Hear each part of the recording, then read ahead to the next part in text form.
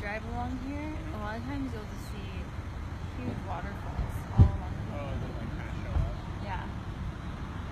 Off in the distance.